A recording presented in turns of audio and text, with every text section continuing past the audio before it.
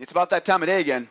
It better be about that time of day again. It better be about that time of day again. Welcome back to your nightly newsletter, boys and girls. My name is Joseph James. It's Monday evening, March 23rd, 2015. In tonight's newsletter, markets kind of little slippery here today as we got back to the action after the quadruple witching traders holiday, which we talked about last week. How about crude oil? Crude's looking pretty bullish, right? We're talking about this this afternoon. It seems like rollover has given these buyers just a glimmer of hope to get back to that $50 a barrel. We see long term and short term channels on crude oil. We're looking to buy those dips on crude oil. Stay tuned for more on that. How about the gold? We got more bullishness. Even gold is bullish here today. We see more channels, bull channels on gold and we're going to be paying close attention to those fresh highs we made today on gold because the volume is giving us a really big clue. Are we going back to 1200 on gold? We'll take a look at that in just a moment. And how about the Russell? Another bullish market. The Russell is bullish after a few days of profit taking there last week. We're back to the bullish section here or bullish trend on the Russell. We're focused on buying support levels on the pullbacks, but we have a trading range that we need to be aware of on that Russell. So stay tuned for more if you trade in the E-minis. Everything across the board very bullish. As you can see this evening, we have a great newsletter for you guys and gals. But before we begin, you know how we roll around here. Want to make sure you guys remember to watch this video on our trading blog here at sidewaysmarkets.com. There are three reasons why you got to get yourself over here to sidewaysmarkets.com and make sure you're watching this newsletter on our trading blog. If you're watching the video right now on our YouTube page, great spot to be to learn more about how we trade, but there's a there's a link below the video, right in the video description, and that will take you right over to our trading blog. Three reasons. First of all, you can download all the charts for tonight by following that link right below the video today, right? So grab all my charts, download those charts, have them ready for you to use tomorrow, wherever you happen to be trading from tomorrow.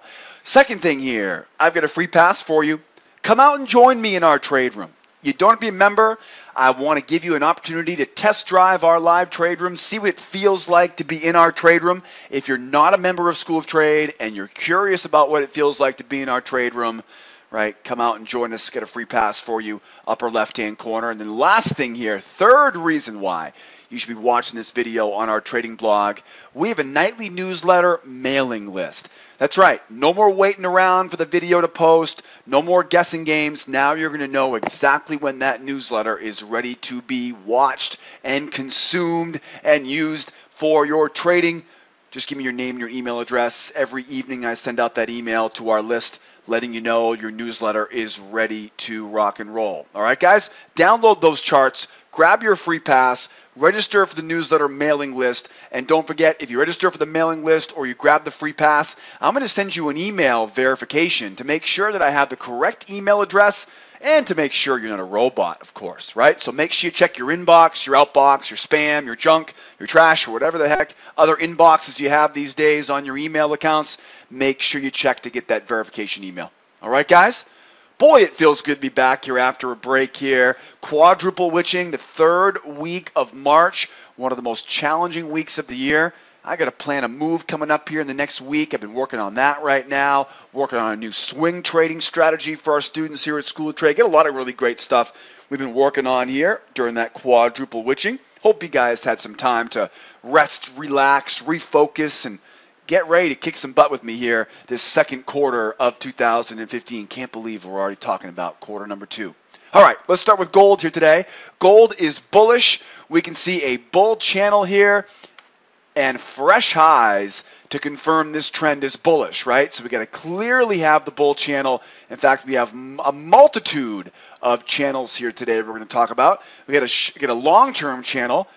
We have a short-term channel. All of that, of course, defining for us here. We definitely have a bullish trend, but look closely here down at these lows and you can see volume looked pretty pretty iffy here. Got a new high there on gold, but if you look closely, Look closely there. Yeah, that's not that's not the volume spike. The volume spike actually right? That volume spike actually lines up with that low, almost as if people had taken profit there before the uh, the closing bell here this afternoon. So we definitely see we're bullish.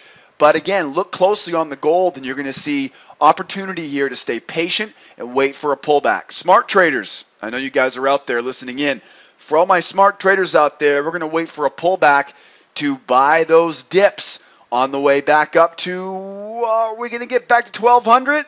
Yep, it looks like that's in the cards right now. It does look like it. You know, once we start to get in that vicinity, in, in, in my opinion, above 1190, below 1210, okay, you really got to start thinking on the gold, this 1200 big round number is going to start acting like a pretty nasty magnet.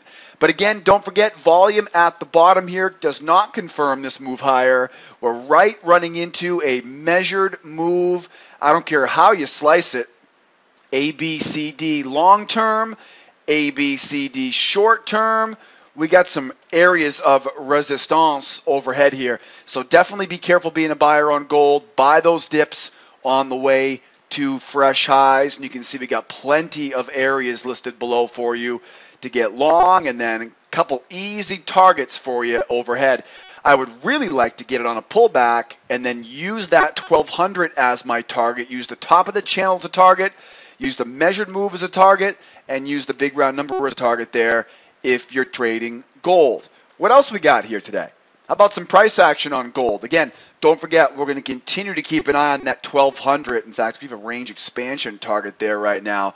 We have measured moves and range expansion targets up at 1200. What's what's price action telling us right now? Price action is also very bullish. We push higher inside of a bull channel. Okay, look closely. There's an undershoot of the high, not by much, just a little bit of an undershoot there at the highs. We will expect an overshoot in the opposite direction. So give it some room to breathe the downside before trying to take it higher here because that undershoot. We'll expect an overshoot. If you're a member of mine, you know exactly what I'm talking about. Okay, so expect a deeper correction below before buying that pullback. And then check out the trading range, right? Check out the trading range. The trading range is a pretty decent clue here this evening. Got a nice obvious trading range, double tops, double bottoms, flat moving averages, overlapping candlesticks. Heck, you got a nice big bear trap to work with there, right? The bear trap, the breakout pullback. Okay, so you definitely can see we're bullish. The, the sellers didn't get anywhere, right, trying to break that low here. So definitely looking to the bull side right now. Where do you think we're going? Take out that trading range, copy and paste, copy and paste. This is what we call range expansions. We got range expansion 93.7, and then I think what's very, very important here is that range expansion all the way up just a little bit after 1200. 1200.4 is what I'm seeing on my chart right now. Give or take a few ticks, I would say 1200 is pretty darn important clue for us. And then we have another very interesting clue, kind of a double whammy here at that 93.7. You'll notice, and guys and gals at home, if you're following along at home, don't forget, when you look for those measured moves, make sure you start them at an extreme, right? So I'm not going to start drawing my measured move right there, right? I'm going to draw it off the extreme, right? The extreme low or the extreme high. So extreme low, draw it up, copy and paste it, draw it up, right? And so again, you see the same spot here. 93.7. Got two really big spots here overhead. 1293.7 for various reasons range expansion, measured move, uh, and big round number, right? So definitely can't definitely can't argue about those. Okay. Only thing I want remember though is is that undershoot of the highs. Now, no guarantee here, obviously, but be patient for a slightly deeper overshoot of those lows before looking for those those those juicy trades here, right? So definitely be looking for buying opportunities down in this area right there as we get that overcorrection right after the undershoot. All right, guys, keep an eye out for those buying opportunities there on the gold. Shall we keep going? I, I hope so. Let's grab the Russell, the mighty mini Russell. Boy, that didn't take very long for those buyers to get all perky once again. Remember, U.S. equities, they're the only game in town right now, and with a nice strong dollar, makes it very, very easy for folks to invest in U.S. equities.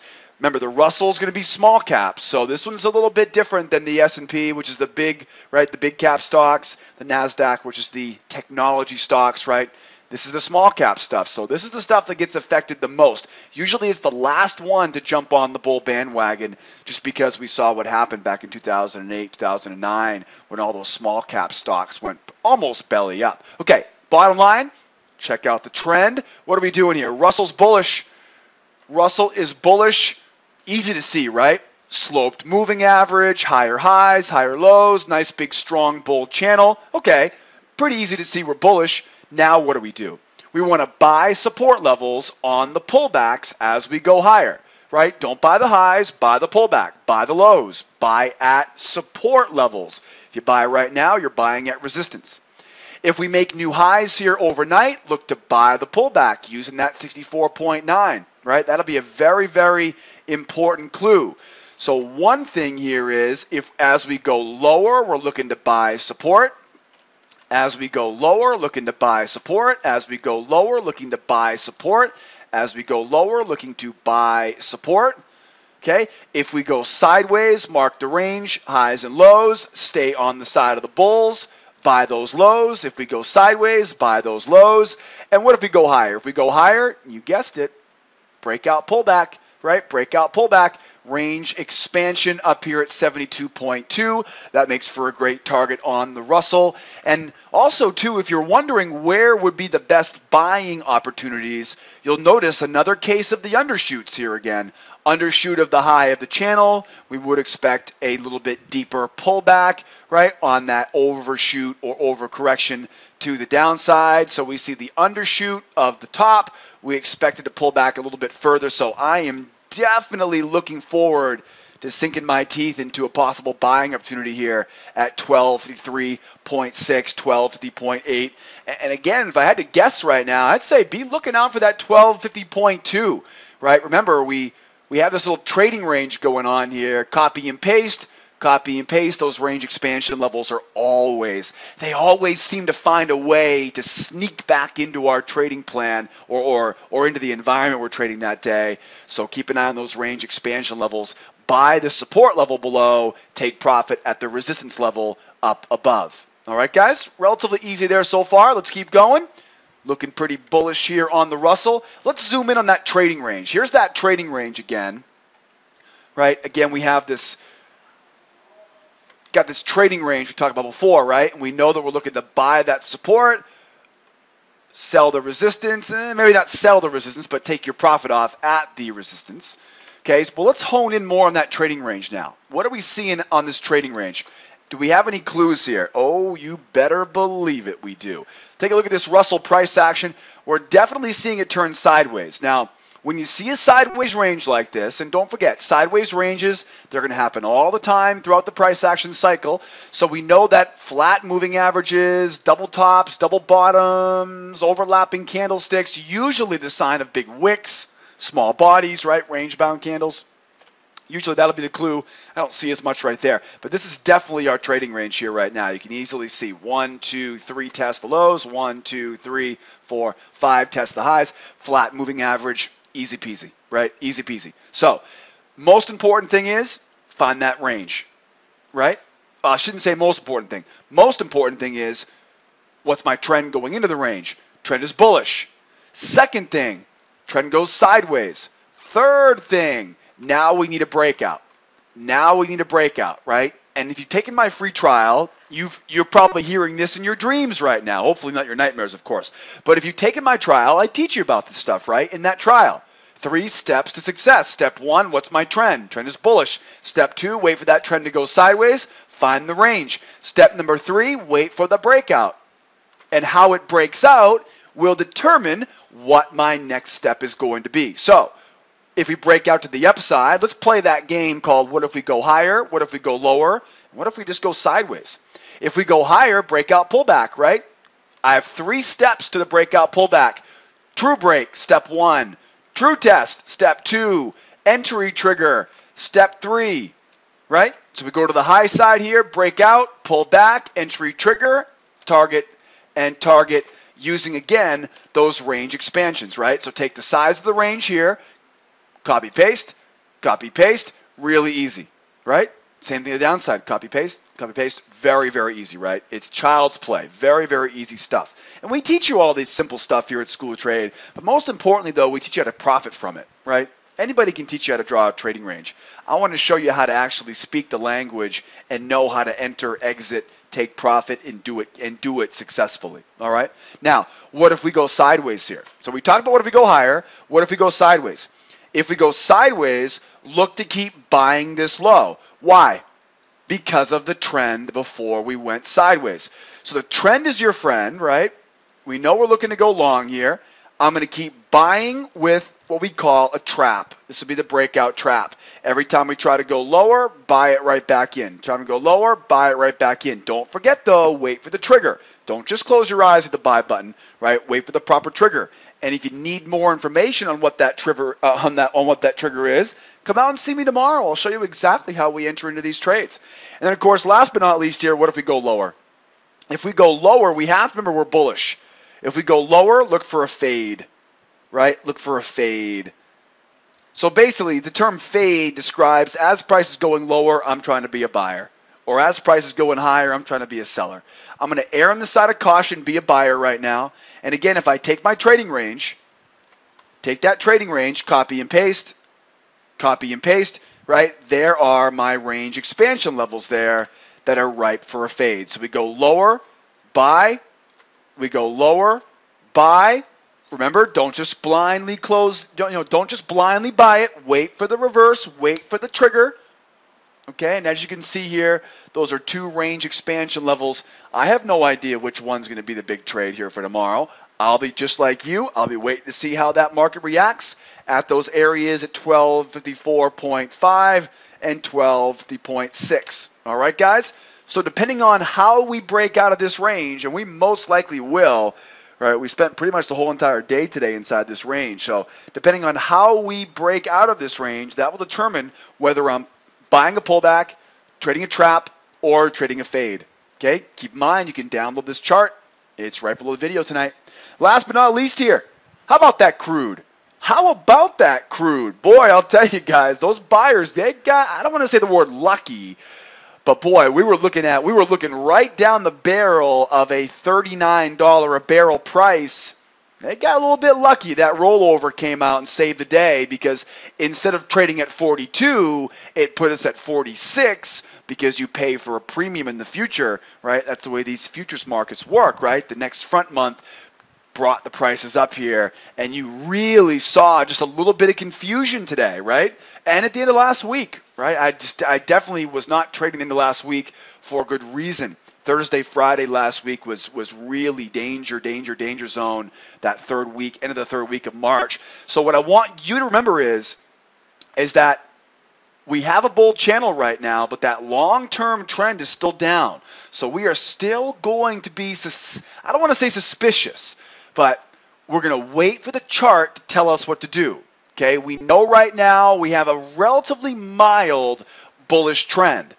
Uh, believe me, I was looking for any excuse to say, ah, not so fast, but it was very difficult because look at the bottom. Even volume confirming right now. Now, we've seen this before, guys and gals. We've seen this before, right? The buyers, they get one glimmer of hope and they mortgage the farm on this stuff. It's we've seen it a couple times now, right? Everybody starts everybody starts talking trash on StockTwits. You know who you are, you bulls, right? Every time I mention the word bearish, I got I got hate mail right, from from all these very passionate bulls out there. I get it, I get it. But what I want to remind you right now is, is even though we have a personal opinion of where things are going, I'm going to follow what this chart tells me. And right now, this chart tells me that we are a bull.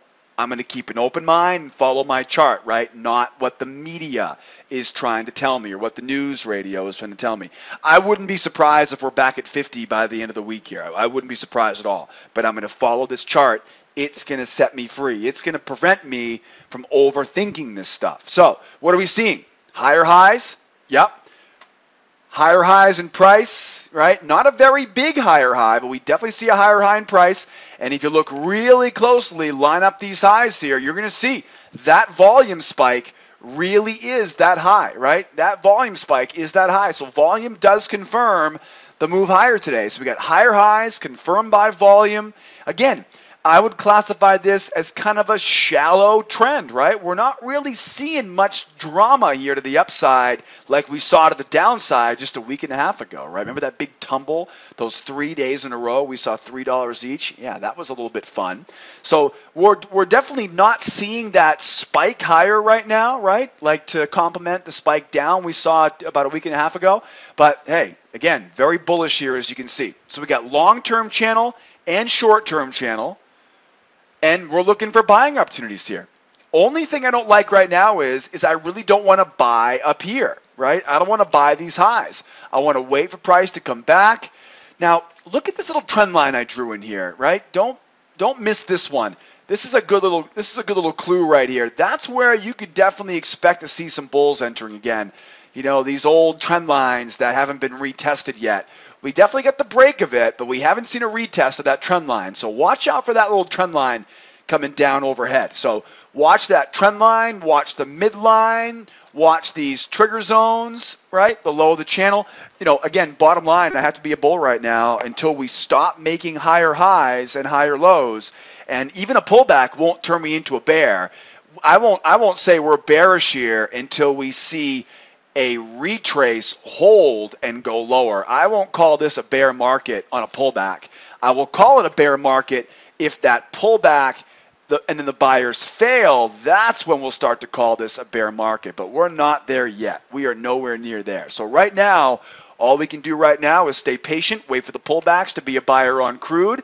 I get a nice tasty target here right under 48 that's a measured move target. And if you look closely, guys, you can see this is a double whammy for the measured move here, right? You get the big measured move, okay, from the big channel, and then you got the small measured move, which if you were listening to me earlier, you'll notice this is not really the best place to be drawing that measured move, right? If you're, you're probably screaming at the, at the screen right now saying, but Joe, you just told me here draw your measured moves off the extremes. Yep, you're absolutely right. So this secondary one, this smaller one, this is going to be a lot less powerful than the big one. But I thought it was just too it was too convenient not to mark it down, right? It won't be the strongest measured move ever seen, but it's definitely there, and it definitely puts us right about that 48 area. Okay, like I said, the only real trouble I have right now on crude oil is the fact that I just don't want to buy right here. I want to be a buyer, but I need to wait for a pullback here on crude. So use those levels accordingly. And let's wrap up here with some price action. And on this price action chart, we get a lot more of the same stuff, but you'll notice the price action chart zooms in a little bit closer and now we're going to get a little bit more of the fine details here. We lose a lot of the fine details on these charts by using those JJ bars, but we get better patterns because of it. This gives us a lot more uh, kind of details of what's happening, right? The wisdom hidden inside these candlesticks.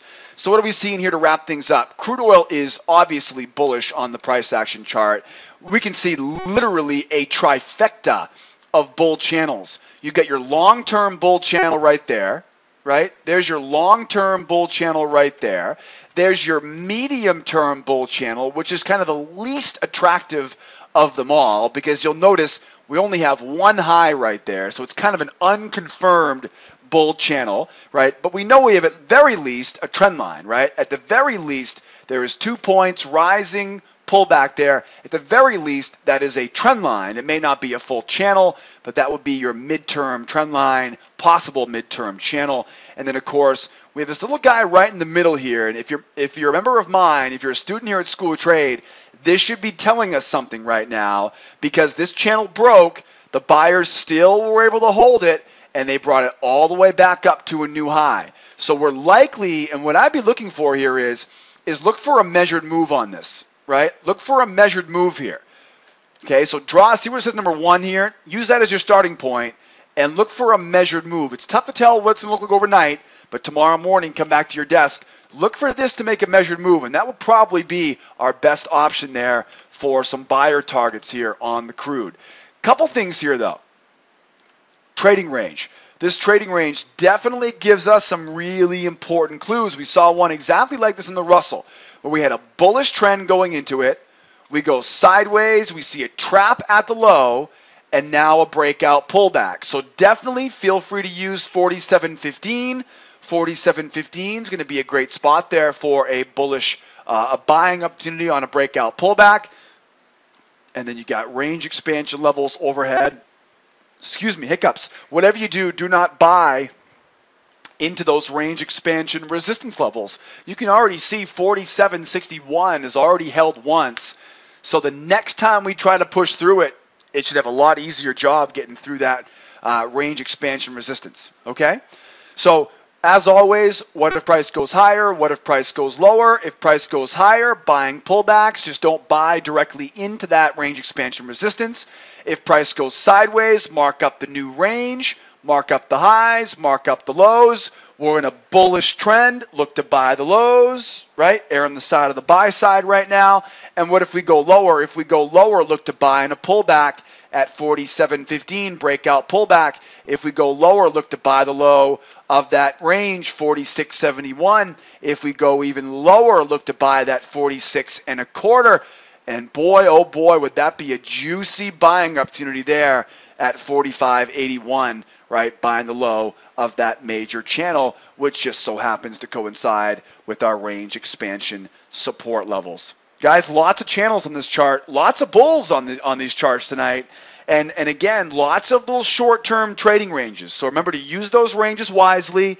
Know your breakout setups. We teach you guys in the intermediate course here at School of Trade. And uh, as always, thanks so much for being here. Thanks for watching. Don't forget, you don't need to do this on your own, guys and gals. You can download all the charts right below the video here this evening, have those ready to go.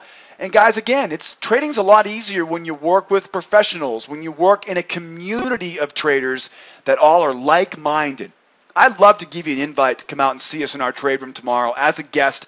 Got a free pass there for you, and don't forget to join our nightly our nightly newsletter mailing list. All right, guys. Don't forget, don't forget, before I let you guys go, join our free trial over here at School Trade. We get the best free trial in the business. I'll prove it to you. All, all I need is your name and your email address, and I'll register you for our free trial. You're going to learn more in one week on my trial than you're going to learn anywhere else on the web, guys. I can pretty much guarantee that. Don't forget, three levels of membership, all lifetime memberships, and we have a full time staff standing by 24 7, 365 to answer any of your questions. Hope you guys had a great quadruple witching break. It's a holiday around these parts. I hope you guys had some great time to rest, relax, refocus, and then get ready to re engage with me here as we kick some tail in this second quarter of the year 2015. Guys, we're just getting started this week. You ready for some more tomorrow? Come out and see me in the trade room tomorrow morning at 8 a.m. If not, I will see you guys same time, same place, same bat time, same bat channel for all you old folks out there that know what I'm talking about. I know, right? We're getting old, guys. We're getting old. They don't even have rotary telephones anymore, right? Bat Batman who? You know what I'm talking about. All right, guys, get out of here. Rest up. I'll see you in the manana. My name is Joseph. Be well. Be nice to each other. And I'll see you guys tomorrow. Adios, amigos. Bye-bye for now.